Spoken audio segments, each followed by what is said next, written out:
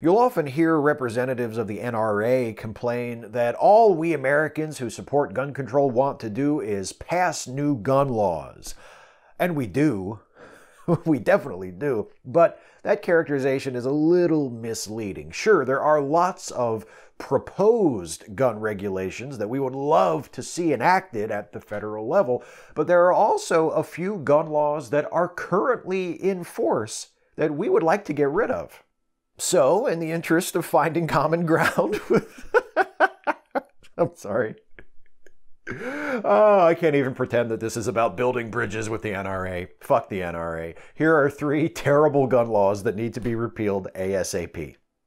And by the way, none of these three laws will be the Second Amendment, if that's what you're worried about. Yes, getting rid of the Second Amendment would make regulating firearms in the United States a lot easier, and it certainly wouldn't break my heart, but I'm not going to propose repealing the Second Amendment in this video. So, all of you folks watching who regard the Second Amendment as an addendum to the Ten Commandments can relax. For now. Anyway, first up, the Firearm Owners Protection Act. Passed by Congress and signed by President Ronald Reagan in 1986, this was the first major legislative victory for the National Rifle Association since it was taken over by right wing gun fetishists in 1977. The Firearm Owners Protection Act, or FOPA, undermined much of what had been accomplished less than 20 years prior in the Gun Control Act of 1968.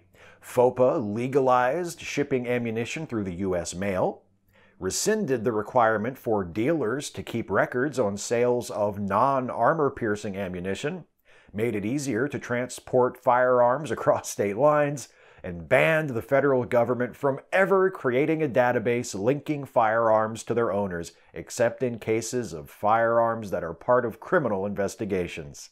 There is a national background check system designed to prevent gun purchases by people who are legally prohibited from having guns, but any records generated by that system, by law, have to be destroyed within 24 hours. So, how many guns are out there? Who has them? We don't know!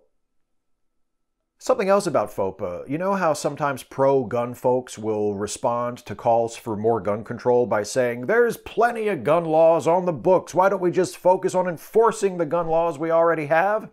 Well, FOPA made it more difficult for federal agents to enforce existing federal gun laws. Isn't that something? Since the 1940s, enforcing federal firearms laws has been the responsibility of the agency which we now call the ATF, the Bureau of Alcohol, Tobacco, Firearms, and Explosives. Explosives don't get a letter. The Gun Control Act of 1968 mandated federal licensing of professional firearms dealers and gave the ATF fairly broad powers to ensure that federal firearms licensees were observing all necessary regulations. After the Gun Control Act went into effect, the NRA began complaining that the burden of complying with ATF inspections was driving some gun dealers out of business, which to me sounds a lot like Philip Morris complaining that federal regulations are driving tobacco distributors out of business. And my response would be exactly the same. Oh, yeah? Good. Isn't that the point? But the gun dealers and the people who wanted to buy guns from them and the NRA, which collects membership dues from both groups, didn't see it that way. So in 1986, FOPA mandated that the ATF could only conduct compliance inspections of federally licensed firearm dealers once a year. You hear that, ATF? Stop harassing those poor gun dealers by making sure that they're obeying the law, okay? Once per year is all you get. Leave the merchants of death alone. Before I move on, there is one provision of FOPA that is worth keeping. The Act bans the sale of new automatic weapons to civilians. So let's hang on to that. And amend it to also ban semi automatics. Sorry, never mind. This video is about getting rid of gun laws, not adding new ones. I just couldn't help myself. Anyway, next, the Dickey Amendment. This sneaky little bastard was added to the Omnibus Spending Bill passed by Congress in 1996. It requires, quote, that none of the funds made available for injury prevention and control at the Centers for Disease Control and Prevention may be used to advocate or promote gun control. The Dickey Amendment is usually interpreted as a ban on the CDC doing research into gun violence, and practically speaking, that's what it's been. The CDC has conducted limited research into gun violence since the adoption of the amendment, but this research has been mostly in relation to other problems, such as domestic abuse or suicide. And because of the amendment, the CDC has been reluctant to commit significant resources to gun violence research projects. The most recent omnibus spending bill, which was just passed last week, is accompanied by a report that clarifies that the CDC is allowed to conduct gun violence research. But the Dickey Amendment remains in effect. That means that if the CDC does study gun violence and finds evidence that gun control measures would help to address the problem, it still can't advocate for gun control. Even if the data show that gun control would be a good thing, the CDC is prohibited by law from supporting it. Thanks, Congressman Dick E. He was a Republican, by the way. Did I need to tell you that?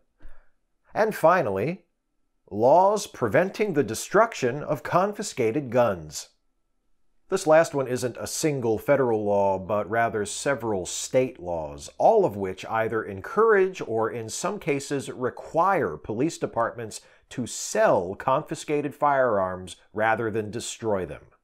Police departments around the country accumulate tens of thousands of guns every year.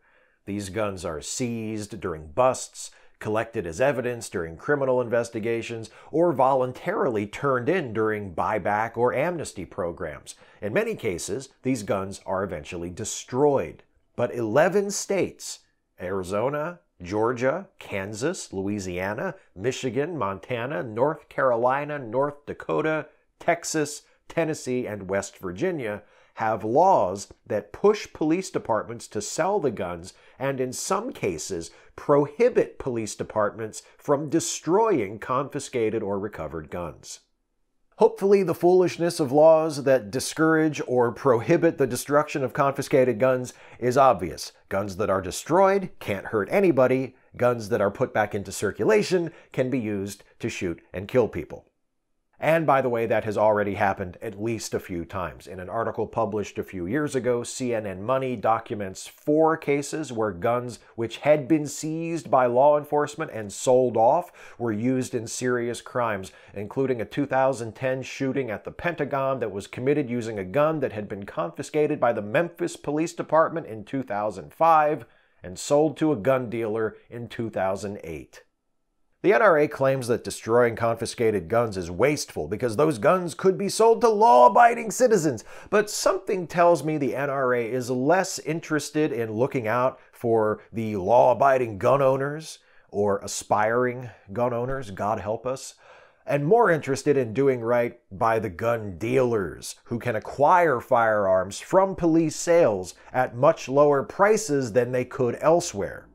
After all, it was the plight of the poor, persecuted gun dealers which the NRA cited when it objected to the effects of the Gun Control Act of 1968 and oversaw the gutting of the ATF's enforcement power with the passage of FOPA in 1986. The easier it is to make money selling guns, the more gun dealers there will be.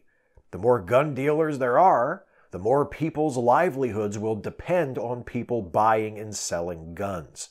The more that happens, the more the NRA can paint gun control efforts as attacking hard-working, law-abiding Americans. Anyway, there you go.